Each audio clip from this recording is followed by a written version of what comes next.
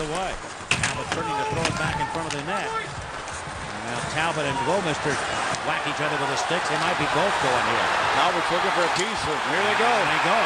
Maxime Talbot and Bouwmeester, the taller defenseman, battling here back in the Florida zone. Talbot's got his helmet off, and Bouwmeester trying to connect. And this all started behind the net. And they're still throwing here. No, Talbot's giving away a few inches, but certainly not the heart. He was the one who was looking for a piece of Bouwmeester. Down they go. Well, you got to watch yourself getting thrown face first into the ice there, but a nice job by Maxime Talbot and Bouwmeester. It started with Talbot, and he was ferocious in his attempt there to keep that puck behind the goal line. Look at him killing this penalty. Just pursuit of that puck. Bouwmeester's going to shut him off. Now watch the two-hander right there, right in the back of the leg. Another little tap, and that's enough for Talbot to say, I'm not going to put up with that crap.